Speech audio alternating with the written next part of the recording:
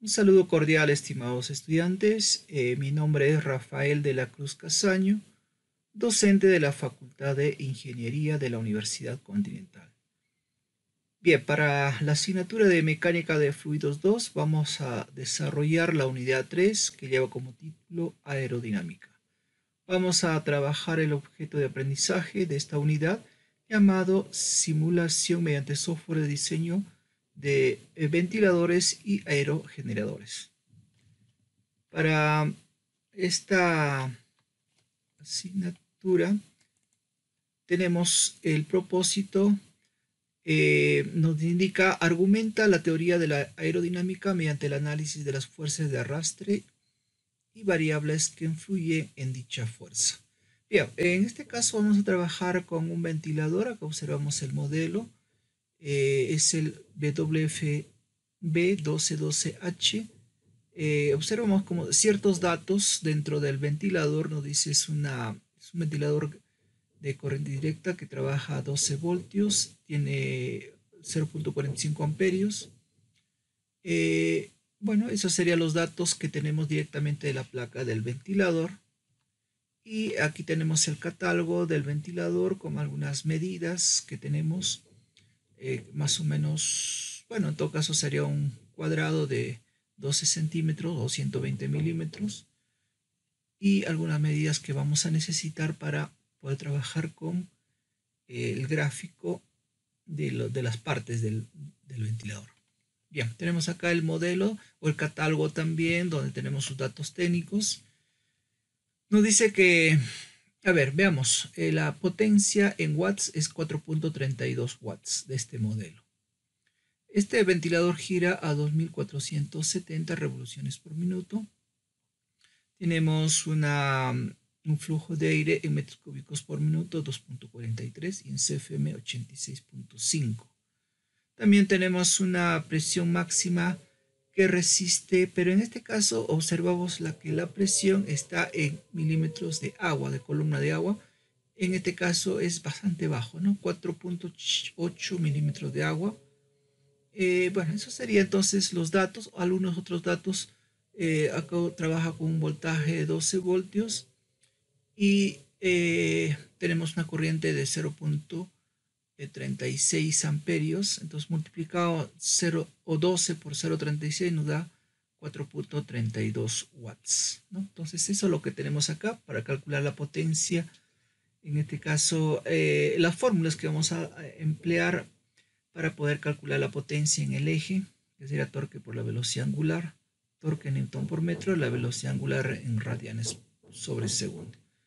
O también podemos calcular con esta fórmula en función de la fuerza de arrastre, esta fuerza por la velocidad, eh, la fuerza de Newton y la velocidad en metros por segundo y también encontramos la potencia. Bien, ahora el caudal, eh, porque vamos a necesitar eh, calcular ese caudal, sería si tenemos la velocidad, la velocidad por el área, nos daría el caudal en metros cúbicos por segundo. O también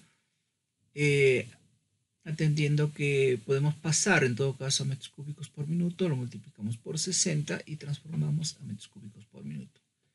Bien, ahora la, potencia hidráulica vamos a trabajar con es la caída de presión por el caudal, o sea, la diferencia de presión entre la entrada y salida por el caudal, encontramos lo que sería la potencia hidráulica. Bien, ahora esta caída de precio podemos calcular también esta potencia entre caudal, que sería una fórmula, y eso estaremos en pascales, ¿no? Newton sobre metro al cuadrado. Bien, o también esta caída de presión sería la densidad por la gravedad por la altura, y justamente esta altura es la que tenemos como dato 4.8 milímetros de mercurio, y eso es lo que esperamos encontrar en la simulación o aproximarnos pues a ese valor.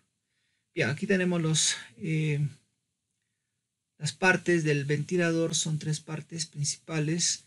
Eh, tenemos como datos que este ventilador gira a 2470 revoluciones por minuto o 258.66 radianes por segundo. Vamos a trabajar con una temperatura del aire de 10 grados centígrados y la presión una atmósfera. Entonces tenemos la parte de la estructura o carcasa o soporte del ventilador, que sería el 1, el 2 que sería el ventilador en sí y el 3 que sería la región de rodadura que es lo que necesitamos graficar y después hacer el ensamble respectivos. ¿no? Tenemos acá eh, los datos del ventilador y también eh, sus valores para las los tres partes, el soporte. Tenemos acá el 120 milímetros, un cuadrado. Y eh, tenemos los datos del ancho, por ejemplo.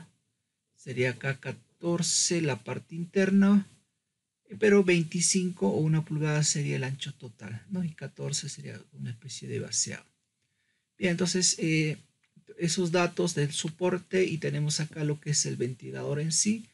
Como datos tenemos una altura de 15 milímetros, sería en este caso eh, la altura a la cual o, o bueno, una altura en la cual va a girar este ventilador eh, las, los álabes, ¿no?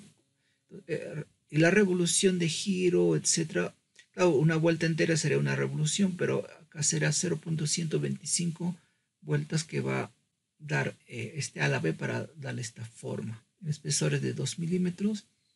La región de rodadura, que sería la otra parte, que va a envolver en todo caso a los álabes o las aspas del ventilador, cuyo diámetro va a ser 115 milímetros por 16 de espesor. Muy bien, entonces eh, estos son los datos del ventilador que nos va a servir para poder hacer primero el gráfico y después la simulación. Ensamblar estos tres componentes, ya eh, lo tenemos que dejar de esta forma para que ya comenzar a hacer la simulación. Veamos acá. Entonces vamos, y como ya los tres están guardados, vamos a abrir uno nuevo pero ya como, como ensamble, ¿no? Como ensamble.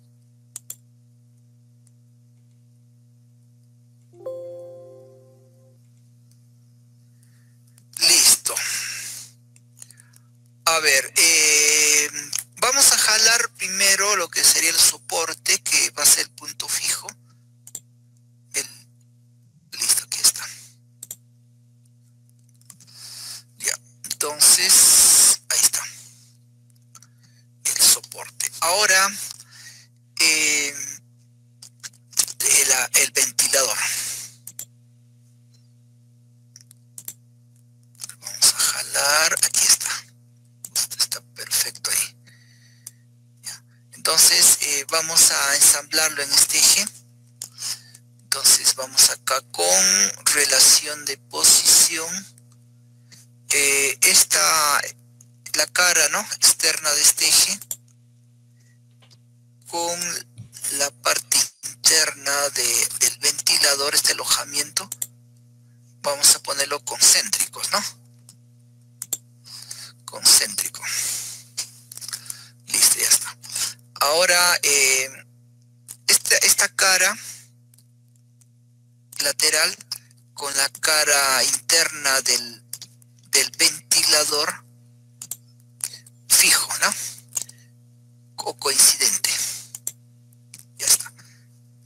Entonces, a ver, veamos, ya está acá nuestra ventiladora. Listo, pero ahora el, tenemos que jalar la región de, rodadura y lo vamos a ensamblar también. Veamos, eh, a ver acá, ensamble, insertar componente, región de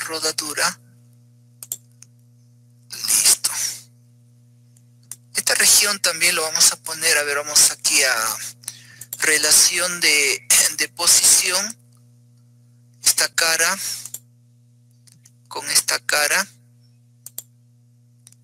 eh, concéntrico, ¿no? Y lo vamos a fijar a esta cara, ya para, entonces, a ver, esta cara con, a ver acá, e ingresó. Listo. Claro, la región de rodadura como está con una transparencia no se observa. ¿No? Fíjense que no, no rosa, ¿no? Esta, luz es necesario que esté.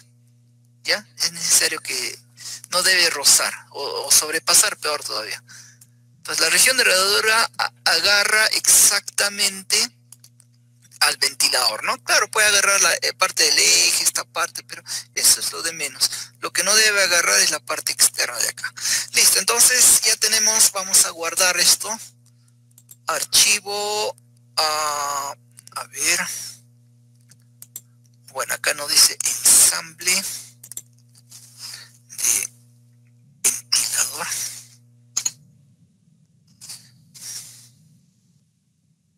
Carcasa. Bueno, con carcasa, listo. Bien. Em, ya estaría lo que necesitamos. Ahora vamos a trabajar con la simulación. Para la simulación de, con el Flow Simulation, eh, primero será Wizard. Aquí no hay tapas porque estamos en flujo externo, no hay leads. Entonces eh, vamos a trabajar con una, un dominio computacional en el espacio que también lo vamos a reducir de acuerdo, eh, primero comencemos con Wizard, a ver. Entonces tenemos acá Flow Simulation, Wizard, ¿no? Para definir nuestro proyecto. Listo, aquí solamente es el nombre, ¿no? Como ya estamos familiarizados, ya, nombre, siguiente. Ah, la temperatura es 10 grados centígrados, acá vamos a ponerle en grados centígrados, la presión está en pascales, no, no, no tenemos es una atmósfera que sería 101 y tantos pascales. Eh, flujo externo. De todas maneras va a haber influencia de la gravedad y la rotación. Esta rotación eh, la activamos aquí. Rotación en el eje X. Ah, o sea, ¿qué quiere decir? Eje de referencia, ¿no? a ver.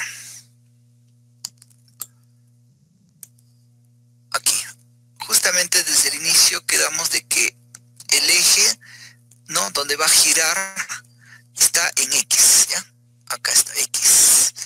Listo. Entonces, mm, ya, hace, creo que está todito, ¿no? Ya. Gases, en este caso es aire. Añadimos no hay más ah, que es después rugosidad lo dejamos allí ah, la temperatura estamos poniendo acá 10 esta velocidad es del medio ambiente obviamente estamos con velocidad no o sea sin movimiento de aire pero el ventilador es lo que va a dar el movimiento de aire no entonces no hay, es para aerogenerador lo que damos la velocidad acá. Ya, entonces eh, creo que es todo, no hay mayores finish. Ya tenemos acá nuestro dominio computacional, salió muy grande, ¿no? Eh, vamos a, a disminuir entonces, vamos aquí, a ver acá en vistas, vamos, cualquier vista, primero vamos a disminuir acá, entonces vamos acá a, lo que es dominio computacional,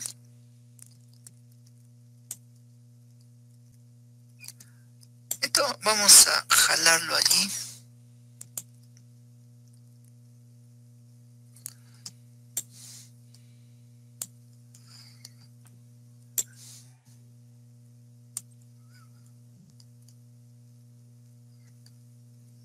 Estaría bien allí. Aproximadamente que quede al centro. El detalle que no lo podemos hacer muy... Claro, se puede hacer todo, pero va a demorar mucho en la simulación.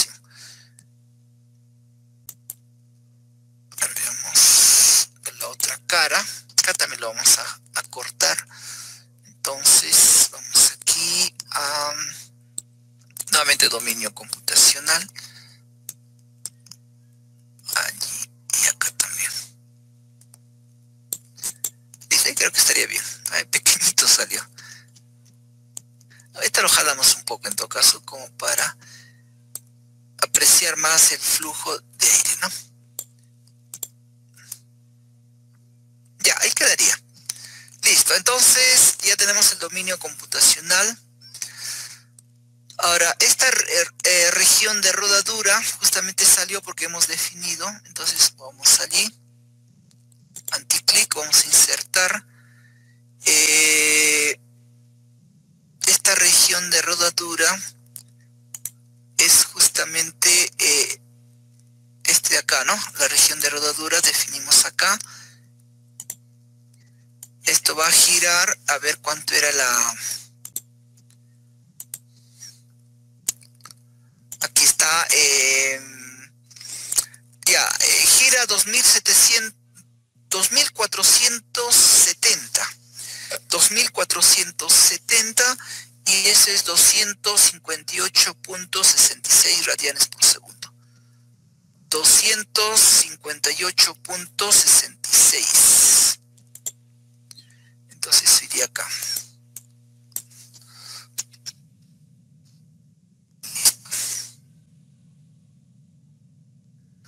Ah, ahí vamos a analizar esta región de rodadura. Acá.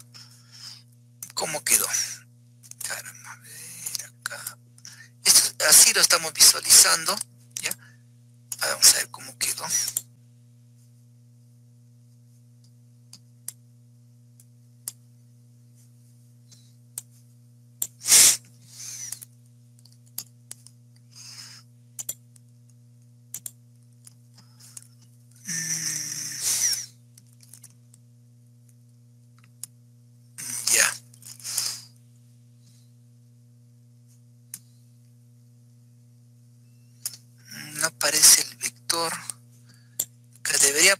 Una, un vector acá, pero no aparece, no sé por qué no aparece. De repente hay algún error.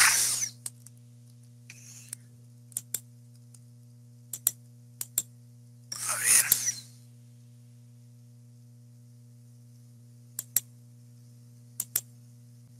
A ver, vamos a continuar, a ver. Eh, o sea, ¿cuál era lo que quería definir? Era... Eh, como esto va a girar, hay una flecha que me indica el sentido de rotación. Y, eh, a ver, como esta es la parte posterior del ventilador, lo que quería observar es, el ingreso del aire debe ser por este lado de acá. El aire y la salida por acá. ¿Qué, ¿Qué pasaría si gira en sentido inverso? Entonces giraría, eh, sería al revés, ¿no? Por acá vendría el aire saldría por acá, pero es al revés ingresa por acá y sale por la parte posterior. Entonces eso, eso se define en base a la, al, giro, digamos, ¿no? Al giro, pero no, no se observa acá. Bien, vamos a continuar a ver. Ahora, boundary conditions.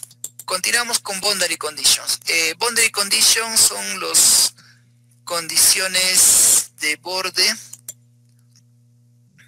Aunque acá no habría ninguna condición de borde, porque ya estamos definiendo simplemente en la región de rodadura. Entonces vamos de frente a goals. A goals, eh, a ver, vamos a trabajar con surface.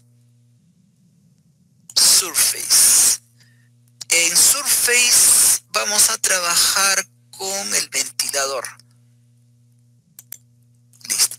O sea, fíjense, todas las caras del ventilador, surface, ¿no? De caras. ¿Ya? Entonces, ¿qué es lo que vamos a pedir acá? En esas caras es lo que son, se produce la fuerza y el torque principalmente. Entonces, vamos a definir, mm, acá está, las fuerzas. A ver, vamos a jalar todas las fuerzas, pero ya, fuerza total sería esta, la primera, para ver cómo, cómo es en X, en Y y en Z, y los torques también. Los torques principalmente se da en X y en Y y en Z, como para verificar, pero obviamente el torque en X es lo que nos va a servir para el cálculo de la potencia. Ya, entonces ya tenemos allí, creo que sería todo. Bien, aceptamos. Después, en el en la región de rodadura, lo que vamos a definir es la velocidad que atraviesa el fluido. Nuevamente en goals, anti-click, eso sería volume goals. Y esto sería la región de rodadura. Aquí definimos, acá, hay caudal también, claro, vamos a chequear, a ver, ¿qué tenemos en la región de rodadura? claro, más fluid densidad, volumen, velocidad. Ah, a ver.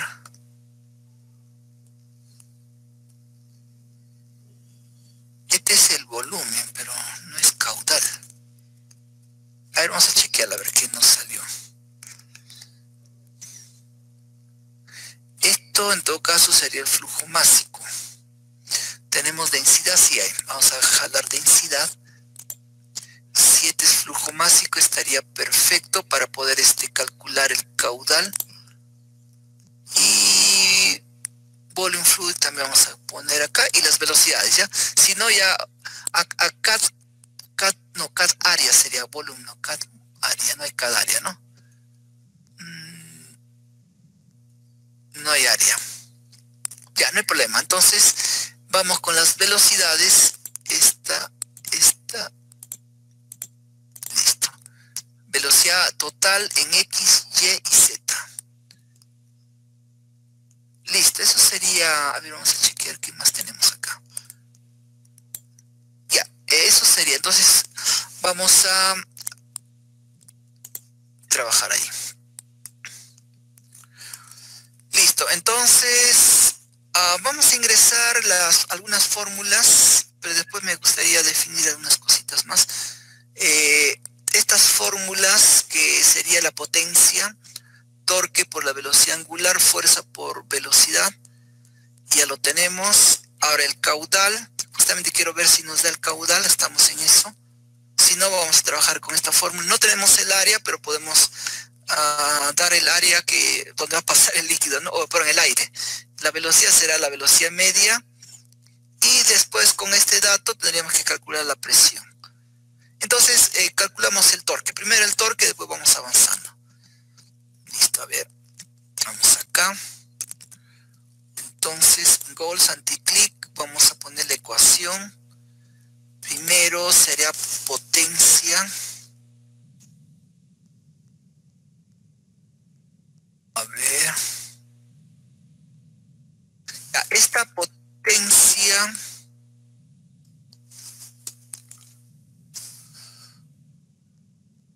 eh, a ver, vamos a... Ah, no, perdón, acá es la, acá es la potencia, acá arriba. Acá va, arriba va el nombre. Allá, potencia sería primero fuerza por velocidad. Vamos a...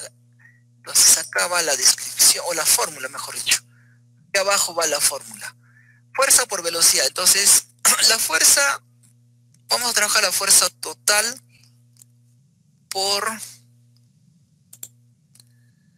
a la velocidad total. Acá estaría. Fuerza por velocidad. Eh, no hay o no hay unidades de potencia, sin unidades, no unit. Listo. Ah, está. Ya está potencia. Otra más ecuación y también potencia. Ahora esta potencia, ahí acá vamos a poner, vamos a poner torque por velocidad angular. Y a ver, torque, como está en X, sería torque en X. Acá está. Torque en X por la velocidad angular. Esta velocidad angular está en radianes por segundo. que lo tenemos 258.66.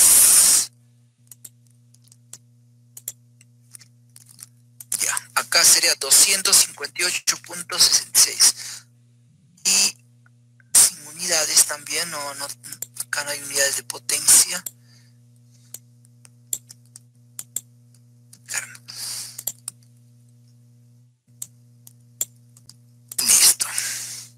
estaríamos, a ver, vamos a...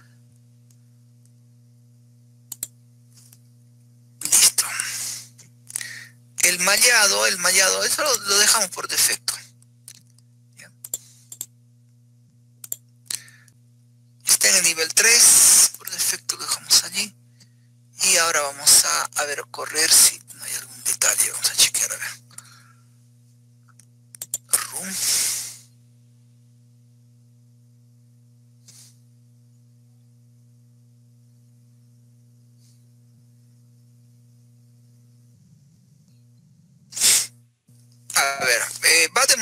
al volumen de control, ¿no? La región que estamos definiendo.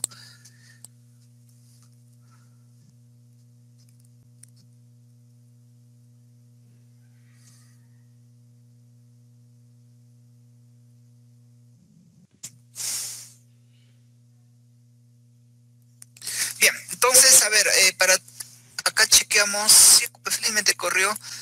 Eh, veamos, lo primero es, son los resultados, ¿no?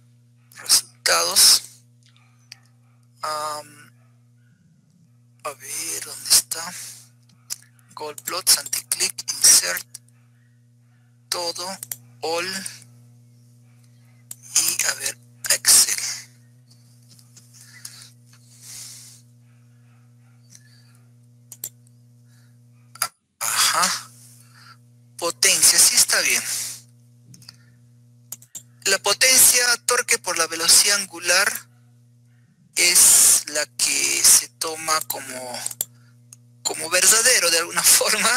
porque la otra es una, una potencia hidráulica, fuerza por velocidad, pero obviamente eh, esta es la, respuesta, ¿no? Eh, esta es la potencia 1.36 o 37 watts. Eh, esta potencia, ah, bueno, queríamos, obviamente nuestro objetivo era encontrar esta, esta de acá, lo que nos indica en el, en el, ¿cómo se llama? Bueno, en el catálogo, ¿no? Pero esta es eh, la potencia del catálogo que es 432. eh, es cuando el ventilador está siendo forzado, ¿no? como acá se observan, está hacia el medio ambiente, o sea, no hay, es como se dice, está trabajando en vacío. ¿Cuándo estaría forzado? Eh, Cuando estaría pues dentro de un ducto, digamos, ¿no? Entonces, bueno, de alguna forma allí podremos de repente darle otras, otras características de presión interna, etcétera. Entonces, bueno, entonces eh, nos salió una potencia en vacío. Ahora, eh, lo que queríamos también es verificar esta, este flujo. Claro, no, no nos arroja el software el flujo como queríamos, eh, pero podemos en todo caso este, hacer un cálculo, ya que caudal es velocidad por área y por este por 60, en este caso para metros cúbicos por minuto. A ver, eso lo- vamos a hacerlo acá en forma rápida, pero después lo voy a hacer correr. Ah, voy, a- poner acá, a ver, caudal. Caudal, listo. Vamos a trabajar necesariamente con la, velocidad en X. A ver, acá. Ya, velocidad en X por el área, ¿no? 3.1416 por el diámetro. El diámetro interno que es 100, 117 sería 0 0.117 al cuadrado, ¿no? Vamos a poner a ver. Por 0.117, acá está al cuadrado entre 4. Por 60 dijimos, ¿no? Para que nos dé en metros cúbicos por minuto. Aquí está, 1.82. Listo. Ahí lo. Entonces, 1.82 nos sale, ¿no? A ver, veamos aquí. ¿Dónde está? Máximo 2.45, ¿eh? 2.45 es el máximo. Mm, Y nos sale un 82. Sí, está bien. Claro, sería un caudal medio, digamos. A ver, ¿qué más? Queríamos saber la, la altura. Este de 4.8. am, de, eh, y es caso lo, vamos a trabajar con esta fórmula que y esta altura es a, esta caída de presión. Mm. Ya. Sería la potencia entre el caudal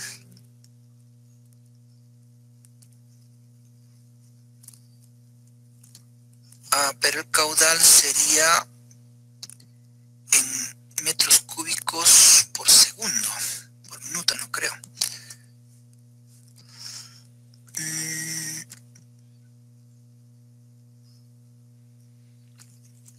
A ver, acá esta altura sería entonces la potencia entre el caudal por, ¿cómo estaba la fórmula? Por mil y por 9.81.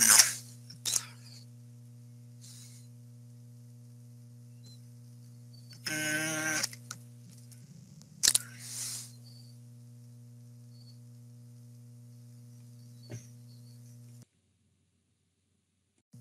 Ya.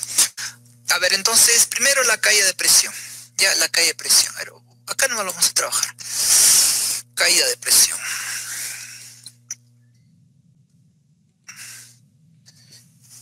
Caída de presión sería en pascales. Estaría, nos dice ahí, la, potencia, que sería esta de acá, entre el caudal. Pero este caudal está en minutos, tiene que ser en segundos, ¿no? Entonces acá como lo hemos, eh, a ver, vamos a, vamos a abrir acá, paréntesis lo multiplicamos por 60, entonces ahora lo dividimos entre 60. A ver. 45 pascales bajito, ¿no? Ya, entonces, esto no se borra. A. Ahora, eh, lo que queremos es la altura, ¿no? Altura en milímetros de columna de agua, ¿no?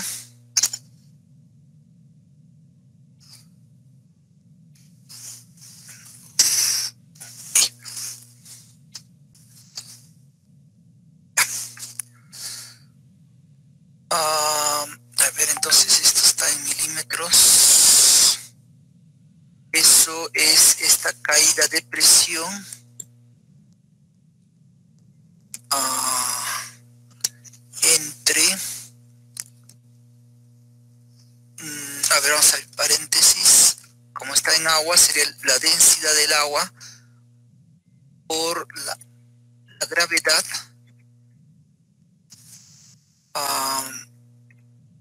ya. Pero este estaría en metros.